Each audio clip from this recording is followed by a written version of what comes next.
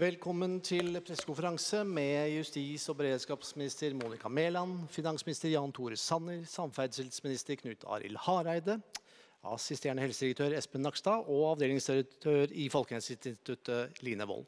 Vær så god, Monica Mæland.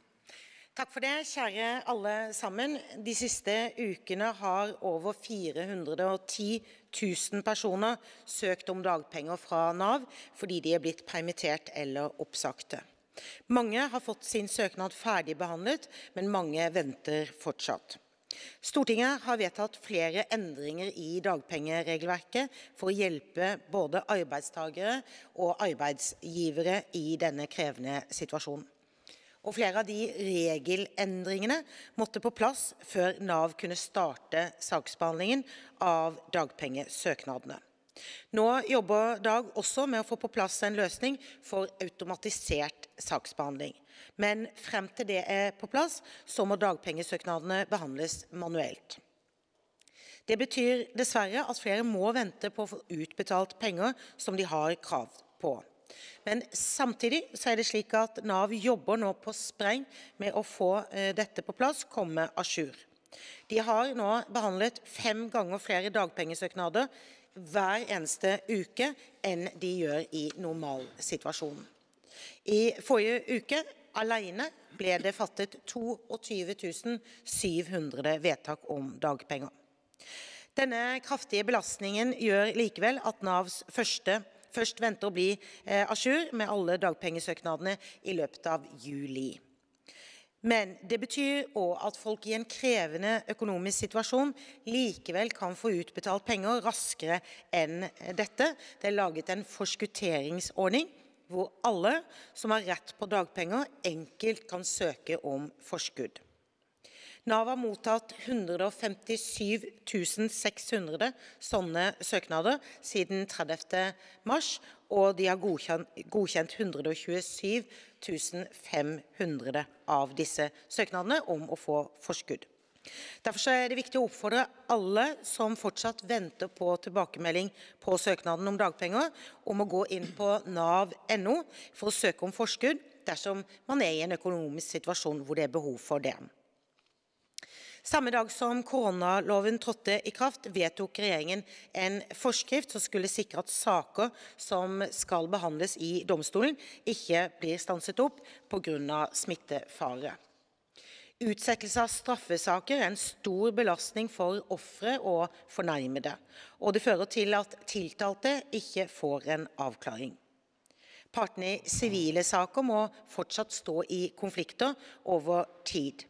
Det kan være veldig krevende, både menneskelig og økonomisk. Vi er nå på alle måter i en unntakssituasjon, og jeg er veldig glad for at norske domstoler har vist god omstillingsevne. Mange saker er allerede avviklet ved bruk av videokonferanse og telefon. Oslo tingrett har f.eks. strømmet et rettsmøte som det var knyttet stor oppmerksomhet til, på YouTube. Så er det selvsagt ikke alle rettssaker som er egnet for å gjennomføres via fjernmøter, og det er opp til den enkelte dommer å beslutte når det skal settes fysisk rett. Det er sånn at Vi fortsatt jobber med flere forslag til effektiv eh, gjennomføring av saker i domstolen, og de vil vi sende på høring ganske raskt. Så er det også sånn at man skal være trygg for smittefare i domstolen, og derfor har Domstoladministrasjonen i samarbeid med Helsedirektoratet utarbeidet en nasjonal veileder for smitteverntiltak som snart er på plass. Vi slipper nå gradvis opp, men la meg også i dag minne om eh, følgende råd. Vi må fortsette å vaske hendene ofte og grundig. Vi må hoste i papirlommetørkle eller i albuekroken. Og vi må unngå steder der det oppholder seg mange mennesker. Undersøkelser viser at alle nordmenn kjenner til disse reglene, men det viktigste er å følge disse reglene. Og med det gir jeg ordet til finansministeren. Tusen takk. Sjokket som eh, preger eh, norsk økonomi, er det mest alvorlige vi har sett i fredstid. Aktiviteten har bremset kraftig opp. Permitteringene har eh, skutt i været. Men regningene de fortsetter å komme. Enten du har permittert alle ansatte, eller du selv står uten jobb. Vi må alle ha penger til å betale regningene våre. De økonomiske tiltakene vi har iverksatt, gir folk trygghet i en tid der usikkerhet er noe av det aller tyngste å bære. Tiltakene bidrar også til at vi unngår mange unødvendige konkurser, og at vi opprettholder samfunnskritiske funksjoner. Listen av tiltak er lang. La meg bare nevne noen. Vi har innført målrettede tiltak for bl.a.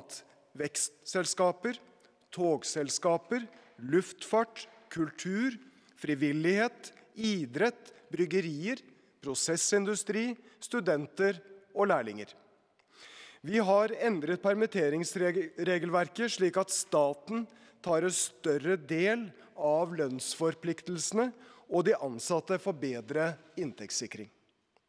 Vi har utsatt skatteinnbetalinger og redusert avgiftssatser for å gi bedriftene bedre likviditet i en krevende periode. Vi har innført gode inntektssikringsordninger for selvstendige næringsdrivende og frilansere.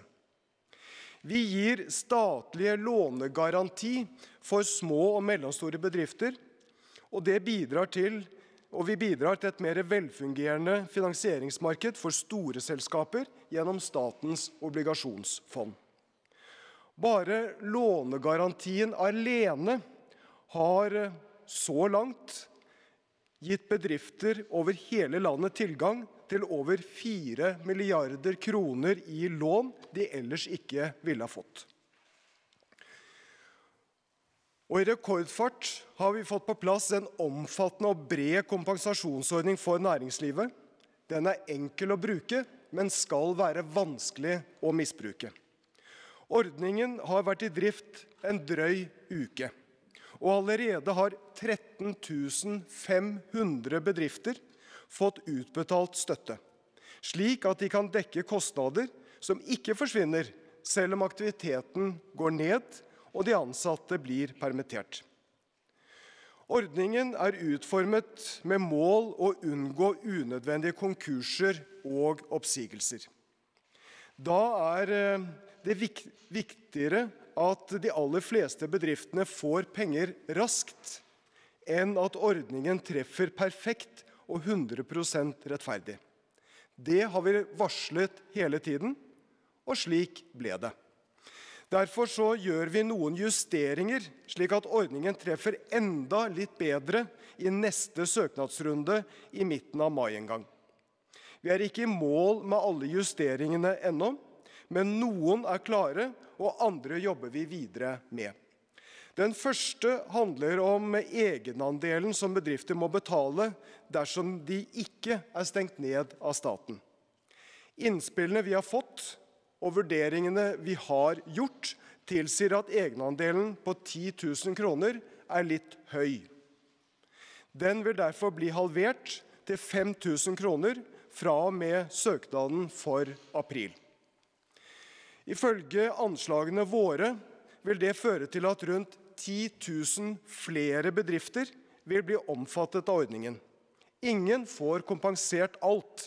Det er derfor naturlig å beholde en egenandel. Den andre endringen er å åpne for at bedrifter som er pålagt å stenge, vil få kompensasjon for uunngåelige kostnader i forbindelse med stell av dyr. Det kan være f.eks. rideskoler. Dette inkluderer også fôr. Dette kommer først på plass i søknadsrunden som gjelder for april, men det vil bli etterbetalt også for mars måned.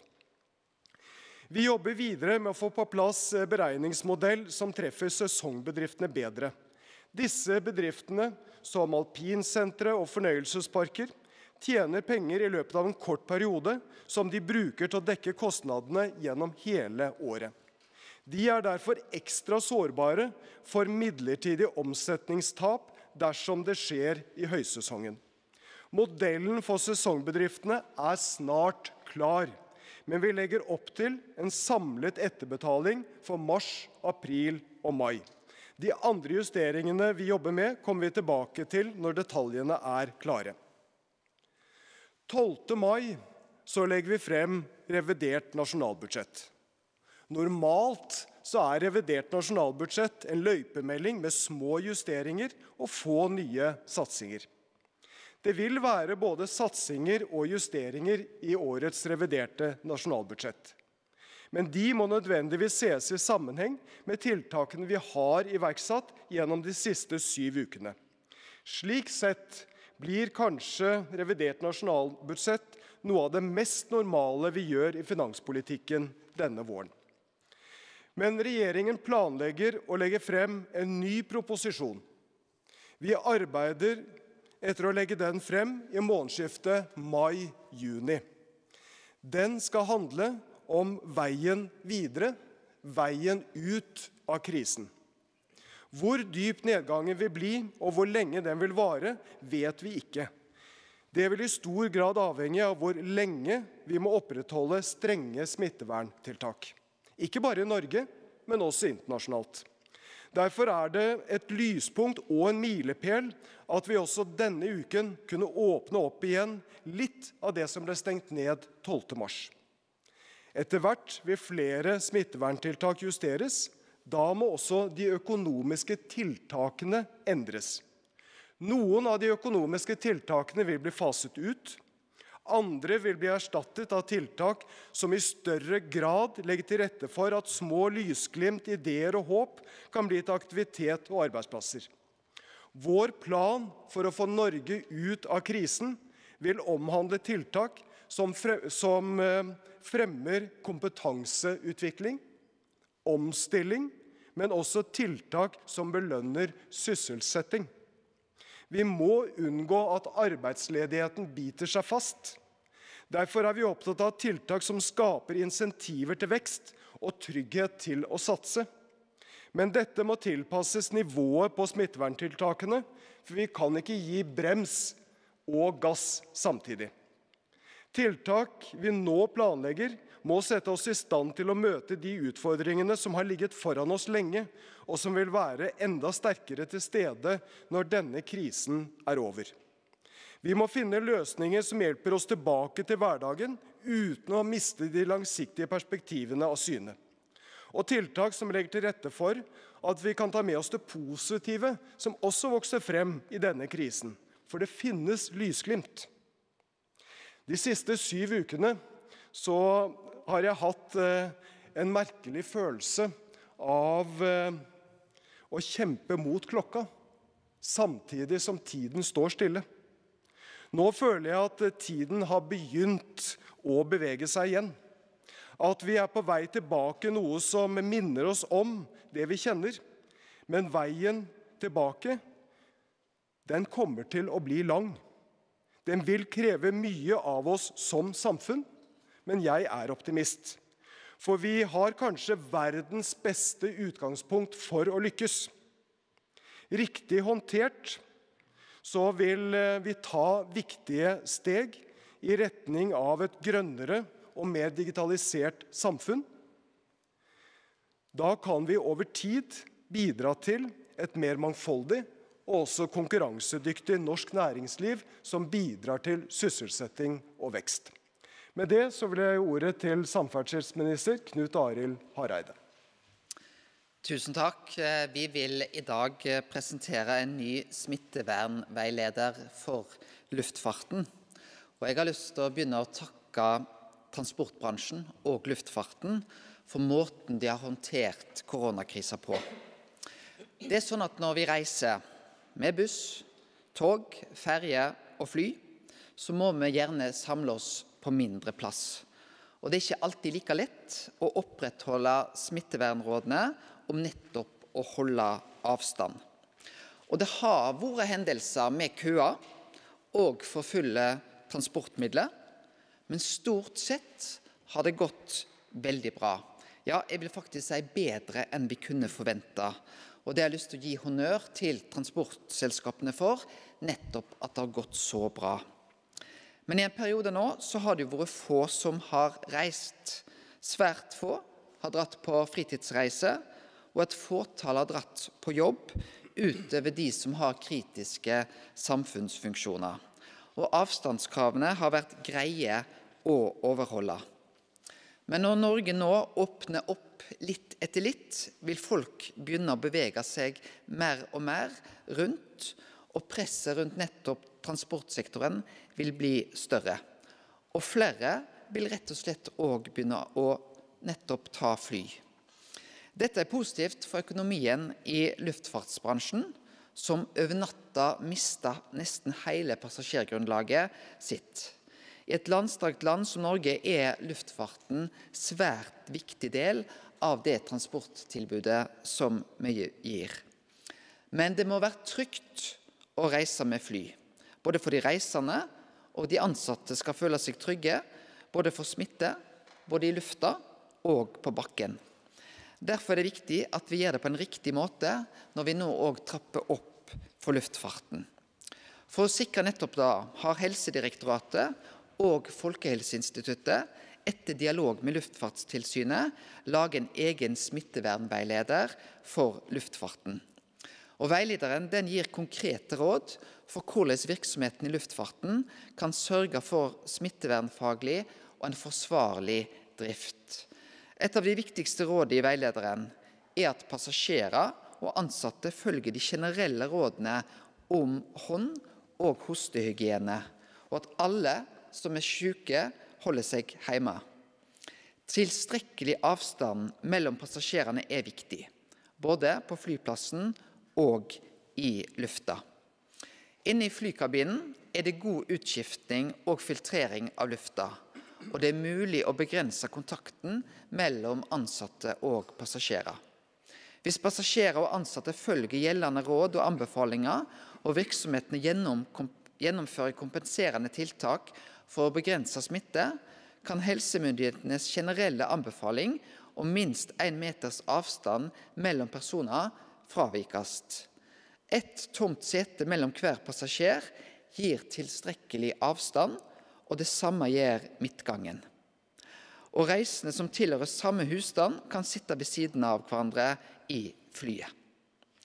Når det gjelder ombordstiging og ilandstiging, passkontroll etc., bør dette planlegges og organiseres godt, f.eks.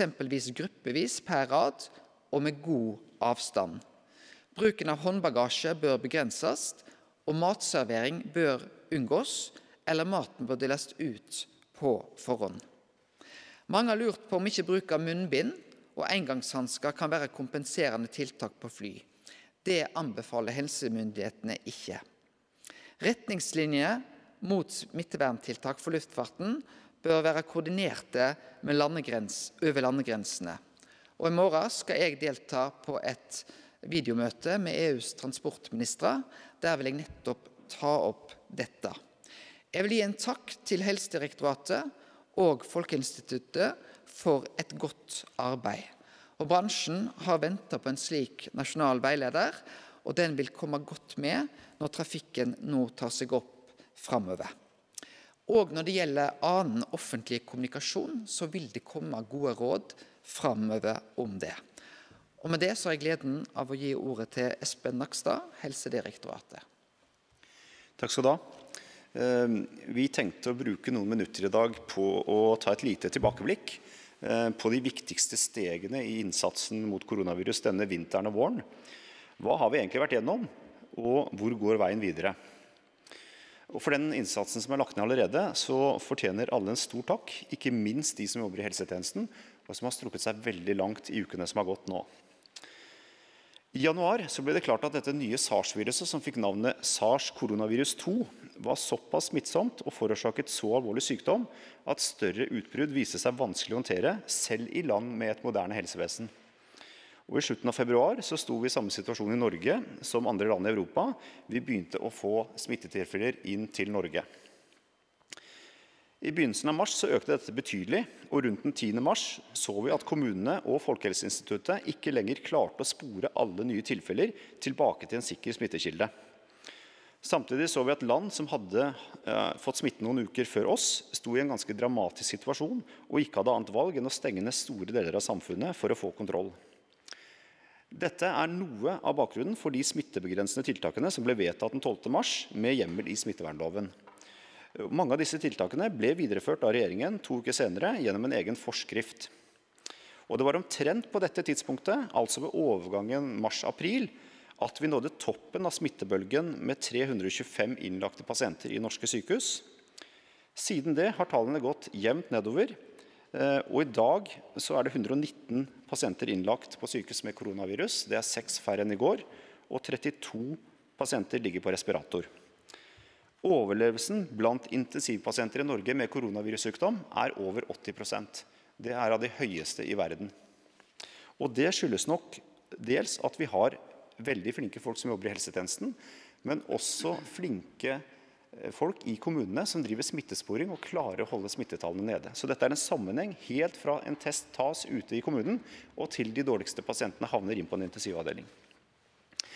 Så er det sånn at eh, Alle har nå de siste ukene blitt veldig godt kjent med bokstaven R. Eh, smittespredningstallet, som egentlig da står for replikasjonstallet. Og som nå har ligget under 1 i april måned. Dvs. det vil Si at én person i gjennomsnitt da smitter mindre enn en annen. Eh, og Det kan kanskje være grunn til å minne om hva det er som påvirker dette smittetallet R, eller smittespredningstallet. Og det, Egentlig så er det fire ting. Det er virusets smittsomme egenskaper. Det fins virus som er mye mer smittsomme enn koronavirus, og det fins virus som er mindre smittsomme. Koronaviruset legger seg omtrent midt på treet. Det andre som påvirker da smittespredningstallet, det er sykdommens varighet, hvor lenge vi er syke. Og vi er nok smittsomme fra rett før vi merker at vi blir syke, og kanskje så mye som en uke etter at vi har blitt friske. Det tredje som påvirker smittespredningstallet, det er mot hvor mottagelige vi er for sykdom, altså om vi har immunitet. Og Det er det ingen i utgangspunktet som har i Norge, så det får vi heller ikke gjort så mye med. Men den siste tingen, siste faktoren i regnestykket kan vi gjøre noe med, og det er kontakthyppigheten. Dvs. Si, hvor mange har vi kontakt med i løpet av en dag, og hvor tett kontakt har vi med hverandre. Og dette er så langt det eneste vi kan påvirke nå, i mangel av effektive vaksiner og en vaksine. Unnskyld, effektive medikamenter og en vaksine. Og alle de tiltakene vi kjenner nå godt, alle sammen, de har egentlig gått ut på å begrense hvor hyppig og nær kontakt vi har med hverandre. Både dette med å holde avstand til hverandre, ikke å være i store grupper, det at vi isolerer syke personer sånn at de ikke har kontakt med andre, og det at vi setter nærkontakter i karantene så de ikke skal smitte andre hvis de blir syke. Alt dette gjøres for å begrense kontakthyppighet. Og Det bidrar til å holde dette R-tallet nede. Og hvis vi klarer å holde det under 1 fortsatt, så kan samfunnet åpne mer og mer i tiden framover. Og vi kan også forhåpentligvis få en belønning i form av en fin sommer. Men vi må nok nå framover i langt større grad følge nøye med på de daglige smittetallene i alle kommuner, byer og bydeler for å kunne sette inn målrettede tiltak dersom det blir nødvendig. Hvis man ser at smittetallene begynner å gå opp i én kommune, så må den kommunen ta affære umiddelbart og teste, isolere smittespore og sette i karantene de som har hatt nær kontakt med en syk person. Vi har altså lagt oss på samme regime som Verdens helseorganisasjon ved å prioritere disse fire smittebegrensende tiltakene testing, isolering, smittesporing, karantene. TIST, unnskyld, TISK kaller vi det, forkortelse. Eh, og når vi nå etter hvert har flere eller færre syke personer, heldigvis, eh, så kan vi slippe litt mer opp uten at den økte kontakten mellom mennesker bidrar vesentlig til å øke smittespredningen. Men det betinger at vi fortsetter å gjøre tre ting sammen. Det er å holde avstand til hverandre. Det er å være hjemme når vi blir syke. Og så er det å bruke den nye appen og la oss teste hvis vi får symptomer på koronavirus. Og det må vi nok forholde oss til i hele 2020. Helt til slutt litt om veien videre. For å komme videre med pandemihåndteringen i Norge så er det flere ting vi trenger mer kunnskap om. Mange av disse spørsmålene kan nok besvares delvis av norske forskningsmiljøer, men verden står også veldig tett sammen her og samarbeider godt for å få økt kunnskap raskt. Av åtte viktige spørsmål er det første hvor smittsomt er egentlig dette viruset rett før man får symptomer. Det har mye å si for den type tiltak som nettopp ble nevnt på fly og andre steder. Spørsmål nummer to hvor lenge er man immun etter å ha gjennomgått sykdom? Og er det noen forskjell på om man har vært litt syk eller veldig syk? Det er vi også veldig avhengig av å finne ut mer av. Spørsmål tre. Vil vi se virusmutasjoner som får betydning for hvor syk man blir, eller hvor immun man blir? Altså, Vil det viruset som sirkulerer i samfunnet mot slutten av 2020, være det samme som i starten av 2020? Det vet vi fortsatt ikke helt.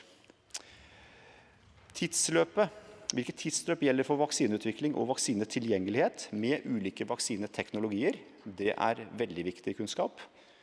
Og spørsmål fem, hvilke medikamentelle behandlingsmuligheter, altså hvilke medisiner, foreligger og vil foreligge tiden framover. Så vil vi også gjerne ha mer kunnskap om hvilke senskader som rapporteres etter gjennomgått koronavirussykdom, Eh, og hva den indirekte sykeligheten og dødeligheten er for andre pasientgrupper når helsetjenesten treffes av koronavirusbølger. Og det siste spørsmålet hvordan vil andre lands beslutninger påvirke oss om både reise, karantene, pandemikontroll, immunisering, vaksinering? Alt dette jobber vi hardt med å få avklart og er, vil være veldig viktig for veien videre. Men i påvente av denne kunnskapen så er vårt hovedbudskap fortsatt hold avstand, vær hjemme når du blir syk, og bruk den nye appen og ta en test hvis du tror du får koronavirussymptomer. Så er det stor sjanse for at dette kommer til å bra hvis vi fortsetter med det. Da gir jeg ordet til Folkehelseinstituttet.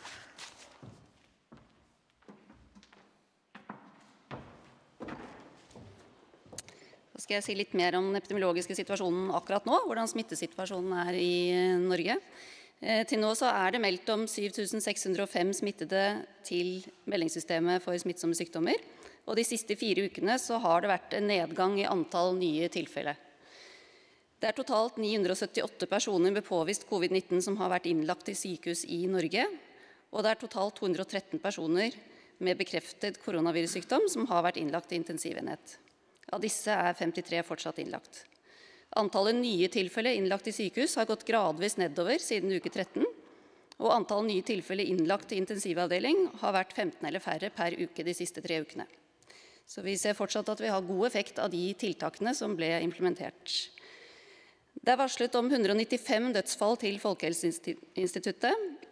Eh, gjennomsnittsalderen for de døde er 83 år, og 55% av dem er menn. Majoriteten av covid-19-assosierte dødsfall forekommer hos eldre personer. Det er registrert underliggende kronisk sykdom hos 79% av de rapporterte dødsfallene.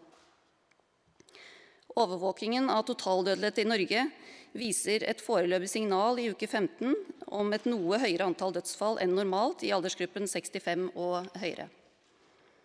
Nye data over innlagte på sykehus med påvist covid-19 viser en klar overrepresentasjon av personer født i Somalia, dette kan indikere at det er høyere antall meldte tilfeller blant somaliere, og gjenspeiler mer sykdom i denne delen av befolkningen. Matematisk modellering har estimert at antall nye smittede var lavere i uke 17 enn i uke 16, og at så langt i epidemien har om lag 1% av befolkningen vært smittet med covid-19. Reproduksjonstallet eller smittetallet var i gårsdagens modellering 0,67, så det er fortsatt lavt. Andelen som tester positivt, har falt flere uker på rad og var i uke 17 3,1% I etterkant av 12. mars var det et betydelig lavere antall som har blitt testet som følge av endrede testkriterier. Nedgangen i testing ses primært blant ikke-innlagte. Oslo har den høyeste andelen positive blant de testede. Sist uke var denne på 6% Så Smittesituasjonen i Oslo er eh, litt annerledes enn fra mange andre steder i landet.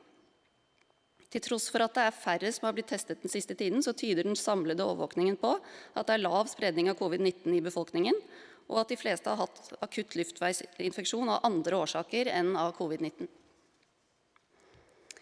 Så Basert på resultatene fra de matematiske modelleringene så er fortsatt eh, smittetallet lavt, som jeg eh, akkurat sa. Og det estimeres altså i eh, tall da, at vi har mellom 45 000 og 55 000 smittede har hatt det i landet totalt.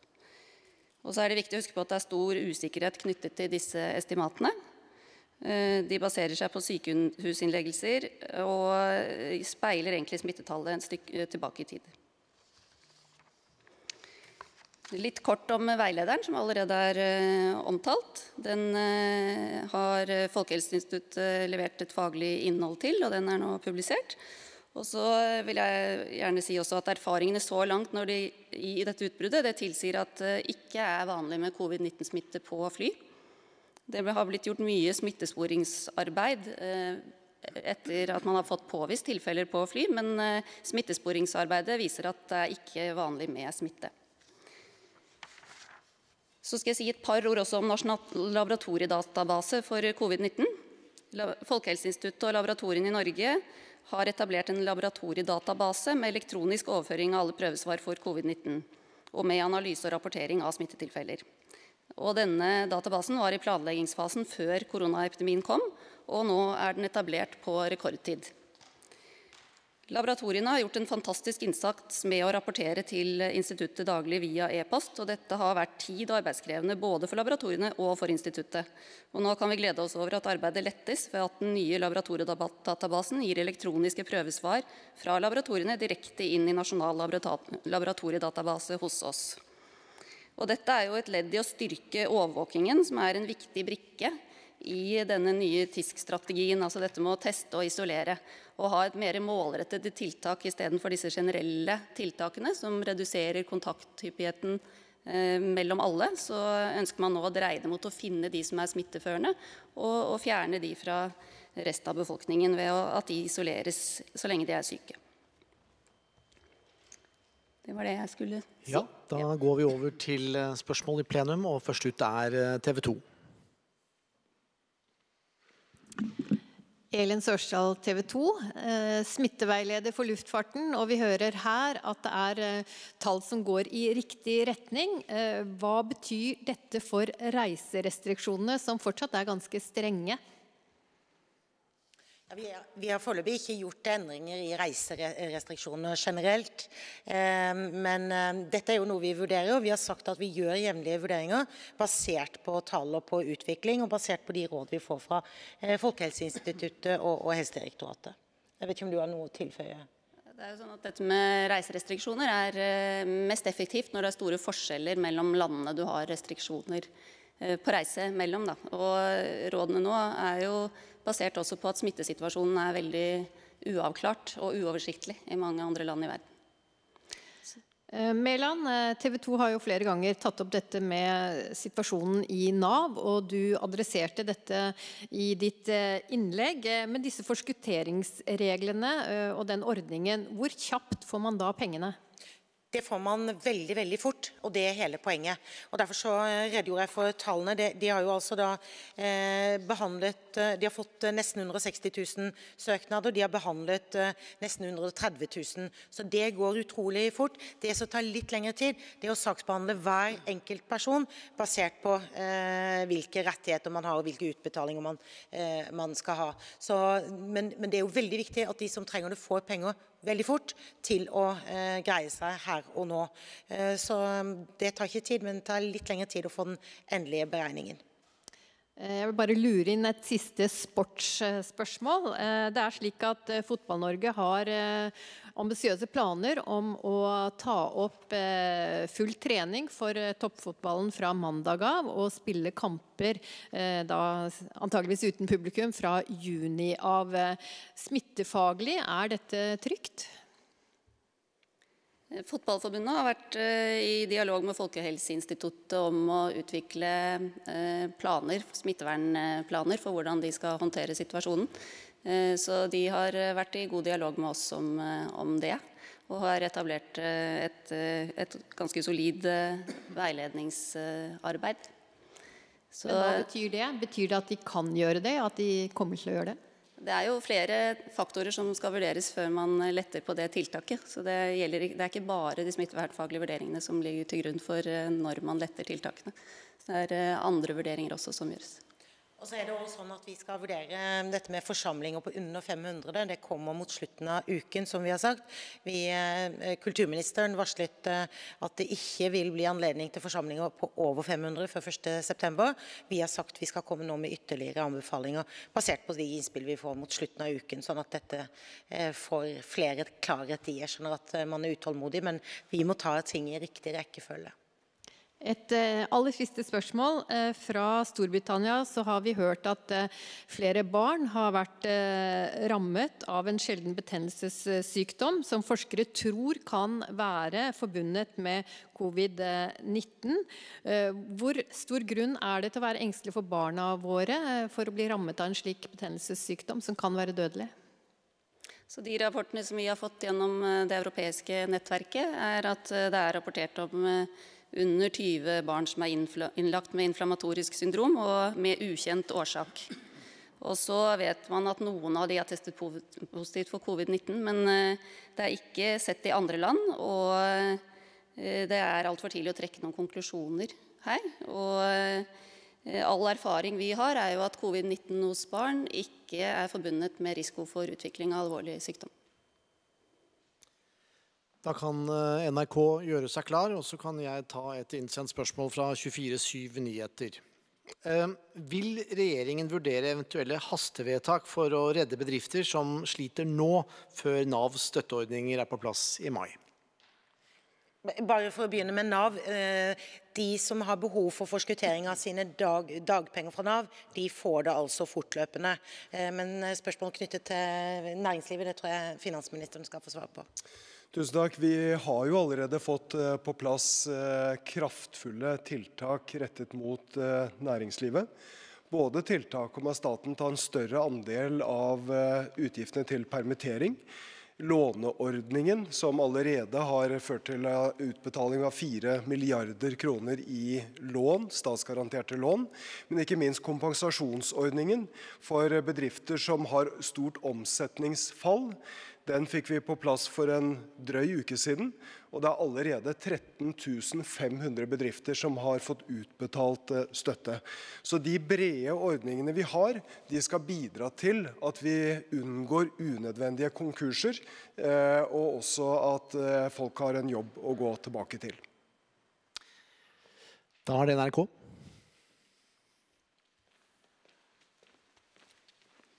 Ja, det første spørsmålet i dag tror jeg skal gå på testing. Jeg tror jeg stiller det til FHI.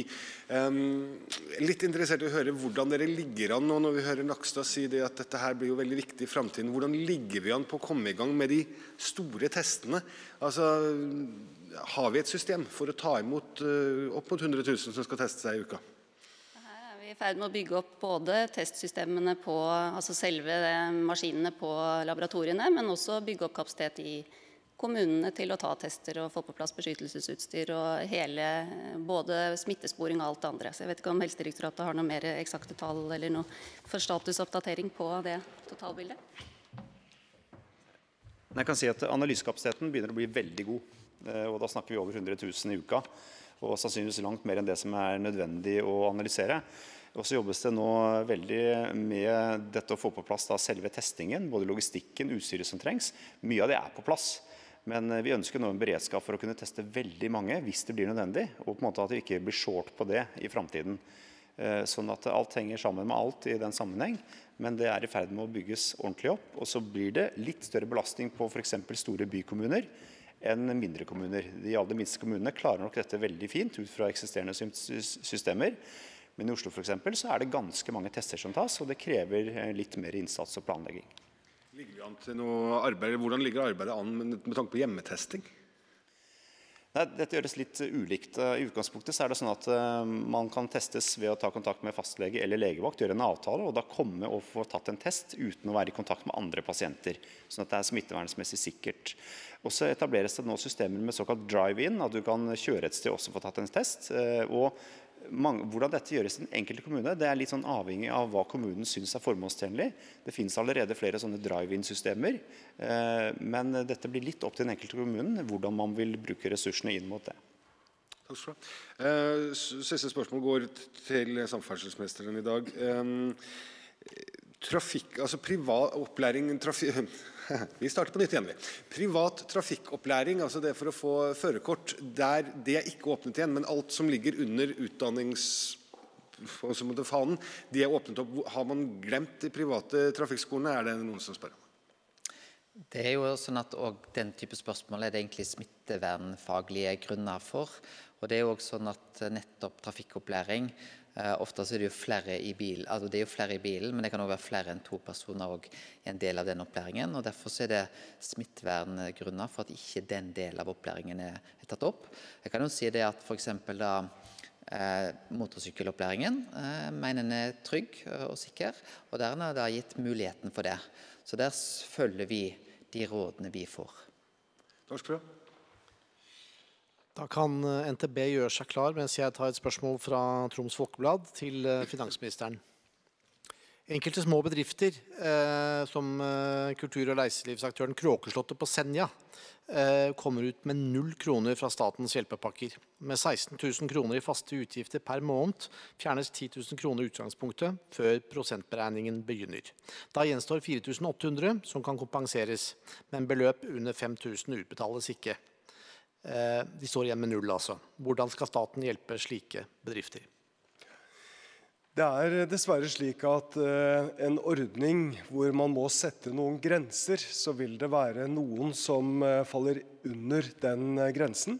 Nå varslet jeg i min redegjørelse av at vi nå gjør en justering i denne kompensasjonsordningen hvor vi senker egenandelen for bedriftene fra 10 000 til 5000. Så hvis eh, de tallene som her ble opplyst var riktige, så vil jo de da komme innenfor i neste måned. Hvis ikke det er andre forhold som gjør at de har, eh, ikke har fått eh, støtte. Så dette er en sjenerøs ordning. Men det kan ikke være slik at alle får kompensert for alt. De store får ikke det, og heller ikke de, de små. Men vi gjør nå noen justeringer som gjør at inntil 10 000 flere bedrifter kan komme innunder kompensasjonsordningen. Da er det NTB. Takk. Eh, da er det et spørsmål til Sanner.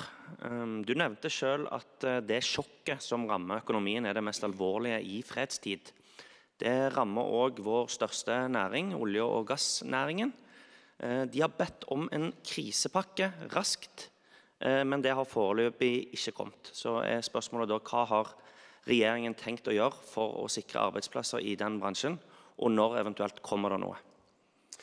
Det er ingen tvil om at eh, det kraftige oljeprisfallet, men også den usikkerheten som nå råder, det rammer både petroleumsnæringen, men også hele leverandørindustrien.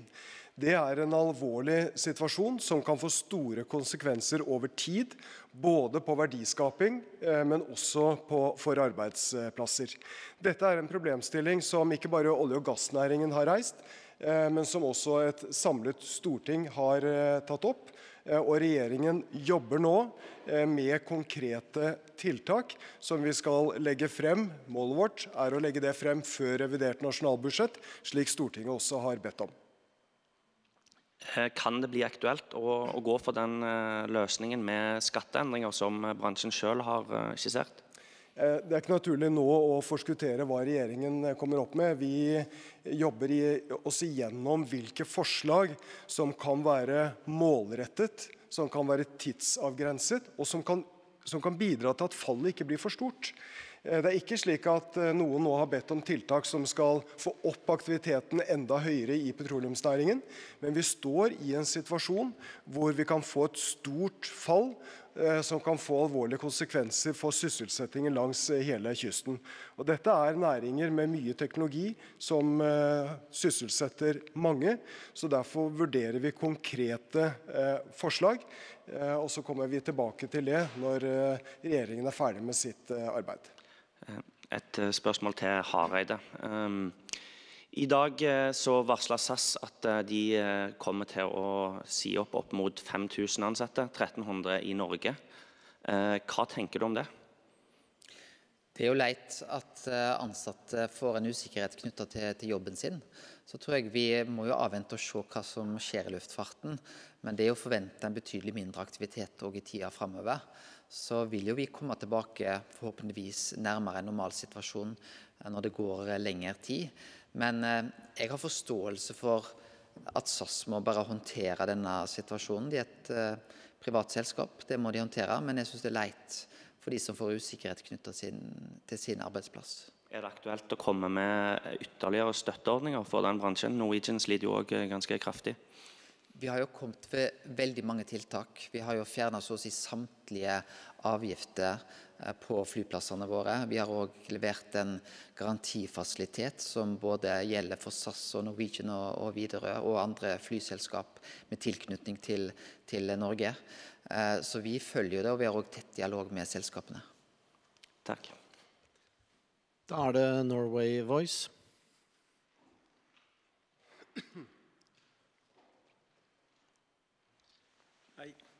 Eh, to spørsmål til eh, finansministeren. Eh, nummer én, første spørsmål om Tom Hagen. Kommer på Gripsen til å påvirke land og økonomi på, på en eller annen måte? Jeg er ikke sikker på om jeg forsto det spørsmålet. Kommer på, på Gripsen til å påvirke land og økonomi på en eller annen måte om Tom Hagen? Nei, dette er, en, dette er, en, eh, straffesak som eh, vi alle har lest om i avisen, og som vi ikke har kunnskap om, og som vi ikke kan eh, kommentere. Men ja, så det, det, det, tror vi ikke. Men det er normalt for økonomi til Norge? Nei, vi tror ikke det har noen betydning for norsk økonomi. Okay. Eh, lån til bedrifter kan for, eh, forskyve konkurser. Har dere andre tiltak til å løse, løse den økonomi, økonomiske krisen på? Ja, vi har eh, iverksatt eh, mange og også kraftfulle tiltak. Eh, noe av det første som vi gjorde, var å innføre mer omfattende permitteringsordninger. Det innebærer jo at staten tar mye av kostnaden når bedriften må permittere. Og også andre tiltak som kommer både arbeidstakere og bedriftene til, til gode. Noe av det viktigste er den kompensasjonsordningen som vi fikk på plass for en uke siden, og som allerede har bidratt med støtte til, 13 500 bedrifter. Det er bedrifter som har hatt et stort omsetningsfall, eh, og som da kan få kompensert en andel av de faste kostnadene. For selv om eh, man har permittert eller aktiviteten er stengt ned, så er det fortsatt noen faste kostnader som, som går. Og vi har vært opptatt nå av å få penger raskt ut til de eh, bedriftene, eh, slik at vi kan unngå unødvendige konkurser og kan trygge arbeidsplasser. Det er skatteetaten som håndterer den ordningen. Eh, og Det er en ordning som skal være lett å bruke, men også vanskelig å misbruke. Eh, og Det siste poenget vil jeg understreke, fordi at det er eh, mange ordninger nå ute. og Vi er opptatt av at de pengene de skal gå til riktig, riktig sted, og vi har gode kontrollordninger på de ulike ordningene. Takk. Er det da noen flere spørsmål i plenum? Nei. Da sier vi tusen takk og går over til én-til-én-intervjuer. De som vil eh, snakke med finans... Oi, var det et spørsmål der? Nei. Uh, vi snakker med finansministeren. Kontakter Therese Riser Vålen der, som vil ta intervju her midt i salen. De som vil snakke med samferdselsministeren, snakke med Susanne Stefansen, som står bak der, og gjør det ute i foajeen. Og de som vil prate med justisministeren, kontakter meg, og vi gjør intervju her sånn. Tusen takk.